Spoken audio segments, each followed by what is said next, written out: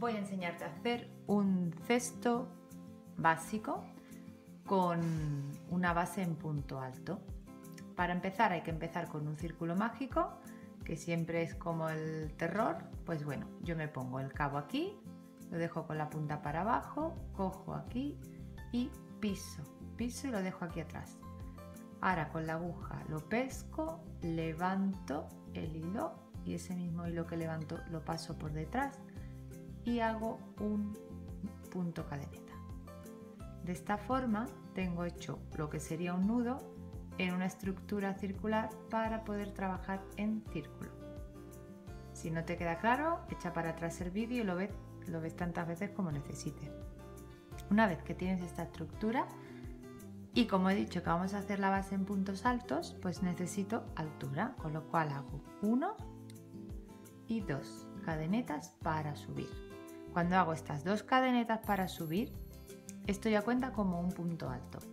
Yo quiero que este, esta primera vuelta tenga 12 puntos altos, con lo cual necesito estas dos cadenetas y ahora tejeré 11 puntos altos alrededor del círculo. Para coger el punto alto, cojo y lo trabajo dentro del círculo. Monto tres hebras encima de la aguja y voy saliendo de dos en dos. Una dos. Ya tengo un punto alto, que sería el segundo. Vamos allá. Cojo otra vez antes de entrar. Entro, cojo y ahora voy saliendo de dos en dos. Una y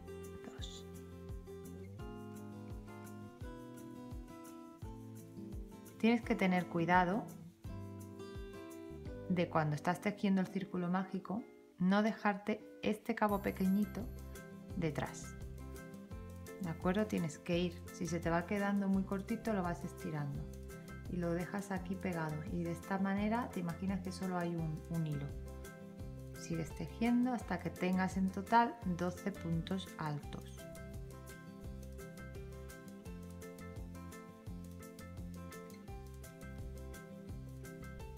Vamos a hacer un recuento a ver cómo va la cosa. Los puntos altos se ven muy bien. Este es el primero que era la cadeneta. ¿vale? 1, 2, 3, 4, 5, 6, 7, 8. 9.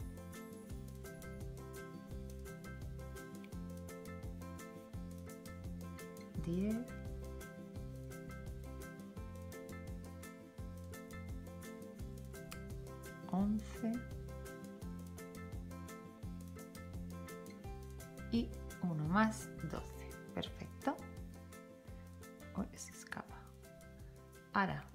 Tengo los 12 puntos estiro fuerte del cabo por eso te decía que no te lo puedes dejar atrás y ya tengo lo que sería la primera vuelta ¿qué pasa? que la tengo que cerrar entonces me vengo aquí a lo que sería el primer punto alto y busco que había una cadeneta y otra cadeneta. Pues en la...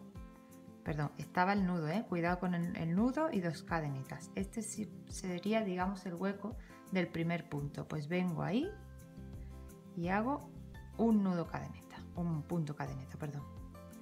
Mira, ¿ves cómo ya tengo un rosetón perfecto, cerradito, todo a la misma altura? Pues esta es la primera vuelta. Ahora vamos a hacer la segunda. Para ello, Puedes eh, marcarte el último punto si quieres o el primero de cada vuelta para no perderte, pero realmente como cuando hay tanta diferencia de altura se ve muy bien, pues yo no os lo voy a poner, pero si tú lo necesitas lo pones. La siguiente vuelta de un círculo mágico, cuando se, se trata de un proyecto plano como una alfombra o como en este caso la base de un cesto, necesito doblar en cada punto. Eso quiere decir, ¿cuál es el primer punto? Pues son dos cadenetas para subir. Esto ya es el primer punto. Busco de dónde sale. Justo estoy trabajándolo aquí, ¿verdad? Pues hago otro punto alto más y de esta manera tengo dos puntos altos juntos, ¿de acuerdo? Pues ahora voy a hacer en cada hueco que me toca tejer dos puntos altos para doblar en todos los puntos. Vengo aquí, un punto alto y otro punto alto en el mismo punto. eso es doblar puntos.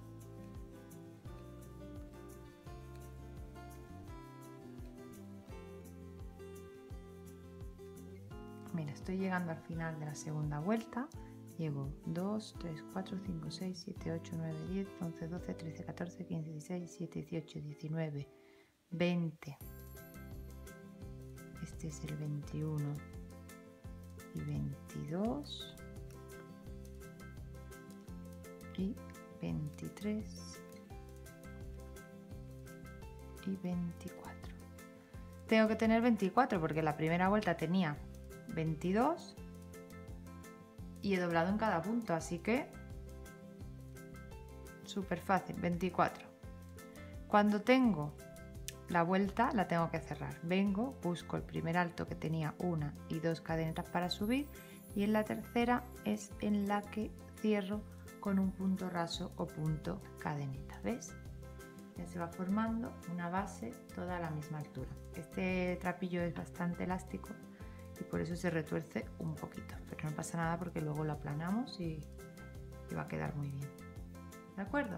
Pues venga, tercera vuelta. Mismo proceso, dos cadenetas y ahora la tercera vuelta de un círculo mágico se dobla uno sí, uno no. ¿De acuerdo? Empezando con el simple. Este, que es ya el primer punto alto, sale del primer punto y no se dobla. El siguiente se debe de doblar. Uno y dos. Pues el siguiente no se dobla. Y el otro sí. ¿Vale? Uno sí, uno no uno simple y el otro que es este doble mira aquí hay uno simple uno doble uno simple uno doble pues continúa así hasta acabar la vuelta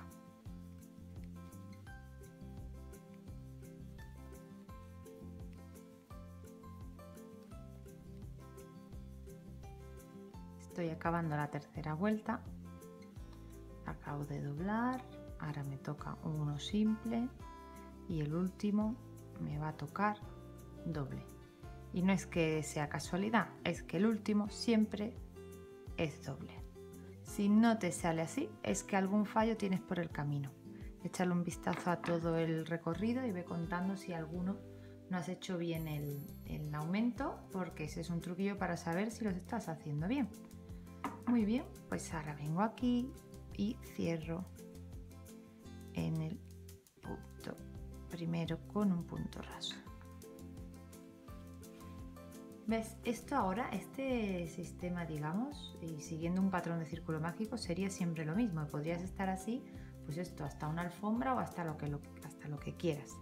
Para hacer este cesto que estamos haciendo, vamos a hacer otra vuelta más y yo diría que incluso otra. Ahora cuando tengamos la siguiente vuelta vemos el tamaño que, tiene y decidimos, ¿de acuerdo? Pues vamos a por la 1, 2, 3, cuarta vuelta con el mismo sistema. Subo con dos cadenetas al aire y ahora voy a doblar puntos cada tres. El primero simple, el segundo simple. ¿Veis cómo ya tengo el dibujo de dos puntos altos? Pues el tercero doblo. Uno y dos. Pues ahora empiezo a contar otra vez. 1 y es simple. Este es simple. El 2 es simple. Y el que hace 3 es doble. Y hago un punto alto y en el mismo sitio el punto alto. Empiezo a contar otra vez, voy contando de 3 en 3. A mí me sirve así mejor. Más fácil. 1, 2 y el que hace 3 es doble hacemos el primero y el segundo punto alto. ¿De acuerdo? Pues sigue así hasta el final de la vuelta y recuerda que el último punto debe salirte doble. Estoy acabando esta vuelta y como siempre te digo, hay que prestar atención e ir contando. Este es doble, simple, simple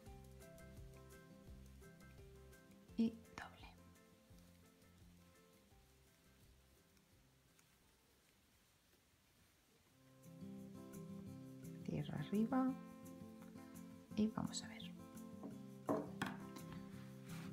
Mira.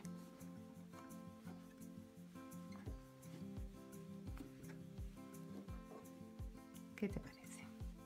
¿Ves? Ya tenemos una base bastante buena, como un poquito más de un palmo. Y esto ya depende del tamaño que tú quieras de cesto. Si a ti ya te va bien con este diámetro, ¿de acuerdo? Que serán pues casi 30 centímetros, pues lo dejas ahí. ¿Que quieres una vuelta más? Pues una vuelta más. Esto ya depende de, de cómo quieras de grande el cesto. Pues como yo he decidido que quiero un cestito de este tamaño, lo que voy a hacer es lo siguiente. Tengo el círculo base. He ido tejiendo en este sentido. Pues ahora lo que quiero, como quiero ir viendo el exterior del, del cesto, pues voy a darle la vuelta. Esta de atrás va a ser la parte que toque con la superficie donde ponga el cesto y esto va a ser el interior del cesto. Esto luego se remata bien y no hay problema. Entonces, vengo aquí y lo que voy a hacer es una cadeneta al aire y la marco.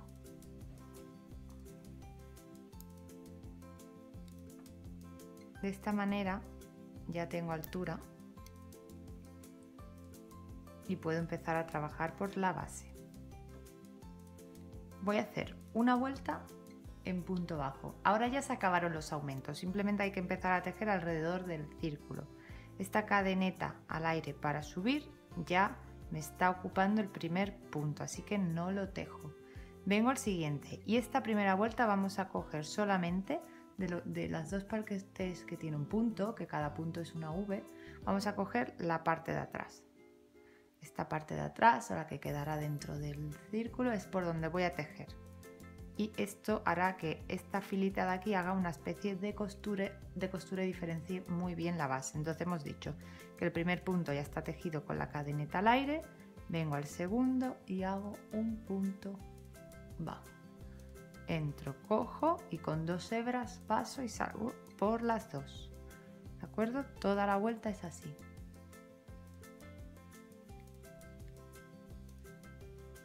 Cuanto más corto es el punto, normalmente más cuerpo tiene el proyecto. Cuanto más alto, más bonito de dibujo es, más rápido se teje, pero tendrá menos consistencia, como quien dice, el cesto. Entonces, ¿qué pasa? Que yo para los cestos, las que sois muy perfeccionistas y queréis que el cesto aguante muy bien, lo que aconsejo es que tejáis las paredes en un punto bajo, a lo mejor en medio puedes hacer una cenefa o lo que tú quieras, pero siempre le va a dar más consistencia. También depende mucho del trapillo. Que sea grueso y que tenga que sea poco elástico va a ayudarte también a que las paredes aguanten más. De todas formas, un cesto se hace para meter cosas dentro, ¿no? Pues ya está, no sufras tanto porque se te dobla y tal. Cuando ponemos un post o ponemos una foto, en Instagram, donde sea, para que quede bonita, evidentemente, las rellenamos. O sea, hablo por todas las que ponemos fotos de cesto, me atrevo a hacerlo. Porque, a ver, es que claro, no vas a poner un cesto ahí una foto todo chuchurrío. Lo que quieres es que quede bonito, entonces pues, o lo rellenas o, es que el, el, cesto pues ya tiene suficiente eh, rigidez como para aguantarse, pero que, que no siempre todas las fotos que ves de bol de, cestos perfectos se mantienen luego así, ¿eh? No sufras tanto. Es lo que tiene los handmade.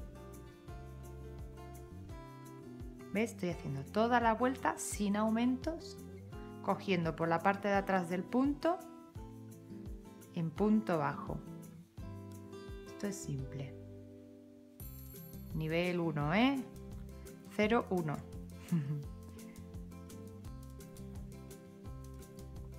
en, mi ebook de trapillo para principiantes tienes los puntos básicos explicados súper detalladamente por si, por si andas un poco perdida, ¿de acuerdo? Entonces, tengo aquí,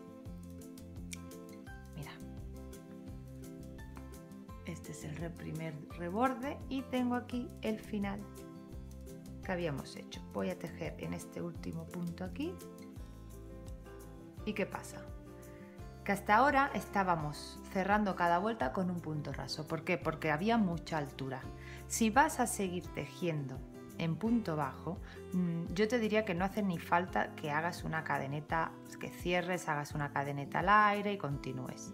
Puedes ver qué tal queda. Por ejemplo, vienes aquí, cierras con un punto raso, una cadeneta al aire y continúas, ¿de acuerdo? Pero yo creo que en punto bajo pues es bastante follón, que no hace falta. Entonces, voy a seguir por ahora así. Eso sí, voy a coger y voy a marcar el primer punto de cada vuelta. Ahora sí, porque si no, no habrá manera de saber dónde he empezado. Bueno, hay una manera mirando la base, pero hay un margen de error. ¿eh? Entonces, voy a empezar a tejer ahora, en vez de cogiendo solamente la parte de atrás del punto, que lo puedes hacer si quieres para hacer el dibujo, pero voy a coger todo el lateral. Todo, todo, todo lo que es el punto y todo en punto bajo. Sigo sin hacer aumentos ni cosas raras y tejo en redondo hasta volver a llegar al final de la vuelta o inicio de la siguiente.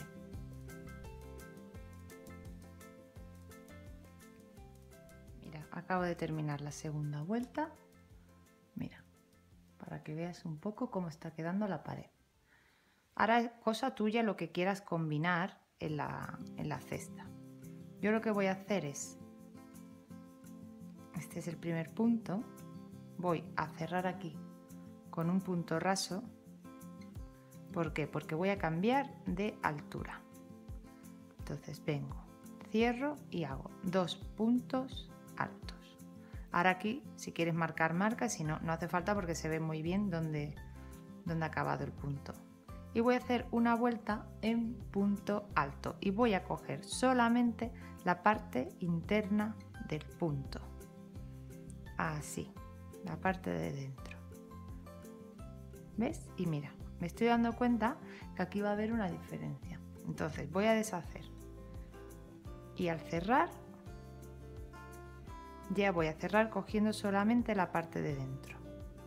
Uno y dos. Ahora sí ya verás queda mucho mejor porque se supone que ya es el primer punto. Así que ese primer punto ya está tejido cogiendo solo la parte de atrás del punto. Va a quedar mucho más igualado. Mira, ¿ves la diferencia de dibujo? Queda bonito.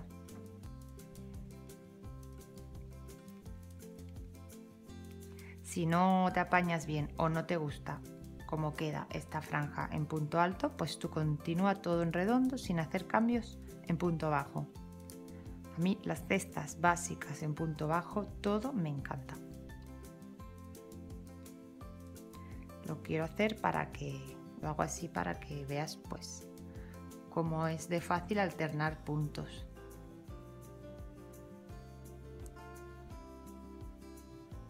¿Qué pasa? Mira, también tiene otra cosa y es que el punto bajo, como ya te he dicho, se mantiene muy, muy tupido y unido y el punto alto enseguida, ¿ves? Se mete para adentro. No tiene tanta fuerza el punto como para mantenerse subido. Eso puede ser una de las razones por la que la cesta pues no te queda súper recta. No pasa nada. He llegado al final de esta vuelta, vengo aquí, cierro también cogiendo solo la parte de atrás del punto y cierro. Mira lo que te comentaba. ¿Ves que esto hace así como para adentro? ¿Se aprecia? Eso es lo que pasa por haber metido una vuelta en punto alto, porque no es tan tupido el tejido y parece que se mete para adentro. A ver, antes de deshacer, si quieres que realmente te quede bien, yo te aconsejo que hagas un, un par de vueltas más, que es la mi intención en punto bajo y así ves qué tal queda. Total, siempre estamos a tiempo de deshacer y no pasa nada por deshacer, ¿de acuerdo? Entonces empiezo, hago una cadeneta, eso ya es el primer punto y empiezo a tejer en punto bajo cogiendo solamente la parte de atrás del punto. Haz una vuelta así. He hecho esta vuelta más en punto bajo, ¿ves? Y ya tiene otra consistencia. El trapillo, como te he dicho, es muy suavito y muy blandito el que estoy utilizando. Si usas otro con más cuerpo, pues te quedará más recta, pero a mí me gusta mucho. Voy a seguir otra vuelta más en punto bajo. Para ello no hago ni, perdón, ni cadeneta ni nada. Empiezo a coger el punto entero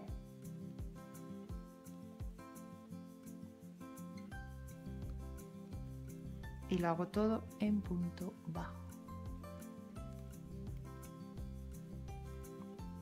Acabo de terminar esta segunda vuelta en punto bajo después de la que venía en punto alto y sigo. Hago una más, ¿vale?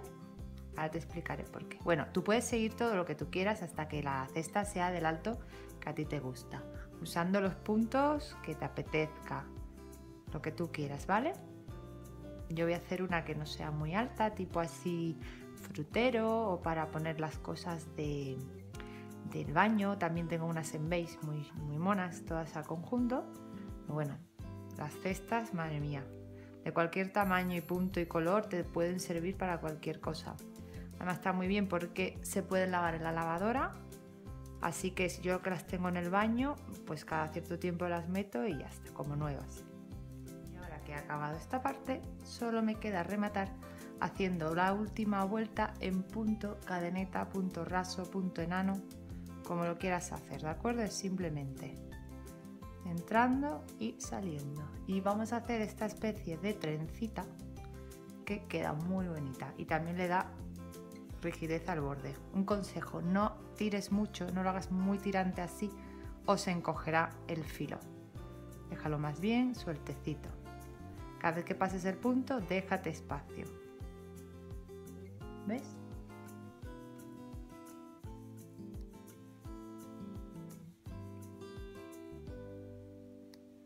Mira, cuando llegas al final, aquí como este punto ya cae, yo lo que hago es simplemente cortar el trapillo y meterlo en el punto de delante.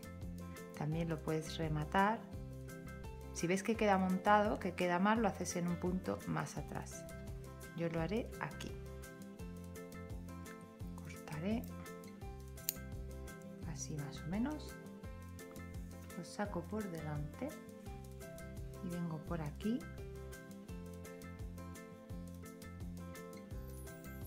y lo meto. ¿Ves? Queda bastante disimulado. Entonces ahora lo que tienes que hacer es remeter e ir escondiendo el, trapillo para que no se vea bien eh, esta unión, lo remetes para adentro